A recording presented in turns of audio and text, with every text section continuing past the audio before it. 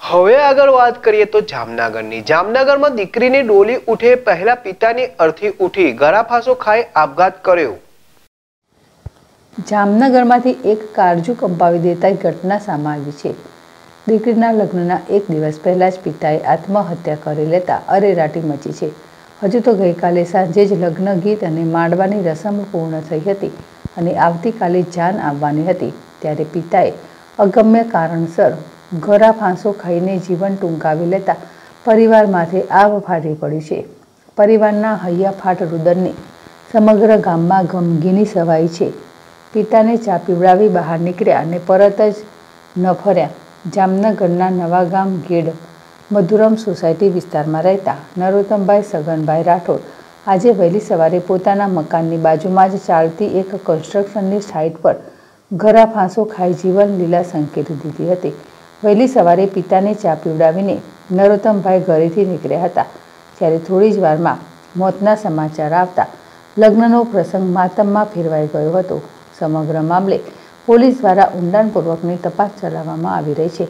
મૃતક નરોત્તમભાઈ જેમની સંતાનમાં ત્રણ દીકરી અને એક દીકરો છે, જેમાંથી મોટી દીકરીના લગ્ન સિક્કા ગામે નક્કી થયા હતા અને આવતીકાલે સિક્કાથી જાન આવવાની હતી.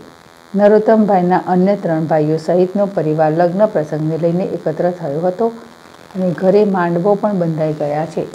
એ દરમિયાન આજે વહેલી સવારે પોતે બહાર ગયા હતા અને બાદમાં પોતાના મકાનની બાજુમાં જ ચાલતી એક કન્સ્ટ્રક્શનની સાઇટ પર દોરડો બાંધી ઘરા ફાંસો ખાઈ લીધો હતો. મૃતક નરોત્તમભાઈનો પુત્ર ત્યાંથી પસાર થતાં પિતાના મૃતદેહને લટકતો જોઈને અવાચક બની ગયો હતો અને પરિવારને જાણ કરી હતી, જેથી લગ્ન સમારોહ માતમમાં ફેરવાઈ ગયો હતો અને પરિવારના હૈયાફાટ રુદનથી વાતાવરણ દ્રવી ઉઠ્યું હતું. આ બનાવ અંગે પોલીસને જાણ કરાતા સિટી બી ડિવિઝન પોલીસ ઘટના સ્થળે દોડી ગઈ હતી અને મૃતદેહનો કબજો મેળવી પોસ્ટમોર્ટમની કાર્યવાહી હાથ ધરી હતી. પોલીસની પ્રાથમિક પૂછપરછ દરમિયાન કયા સંજોગોમાં તેમણે આત્મહત્યાનું પગલું ભરી લીધું? એ અંગે પરિવારજનો કોઈ પણ બાબત જાણતા ન હોવાનું જણાવ્યું હતું. તેમને આર્થિક કોઈ તકલીફ ન હતી અથવા તો અન્ય કોઈ દબાણ પણ ન હતું.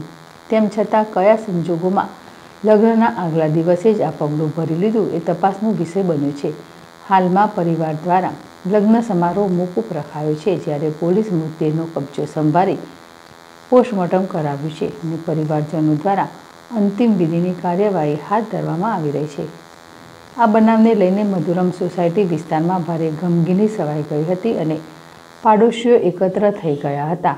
મૃતક નરોત્તમભાઈના પત્ની અને ત્રણ પુત્રી અને એકના એક પુત્રના હૈયાફાટ રુદનથી વાતાવરણ શોકમય બની ગયું છે. હર્ષલ ખંડેરિયા, જેડેશ ટીવી, જામનગર.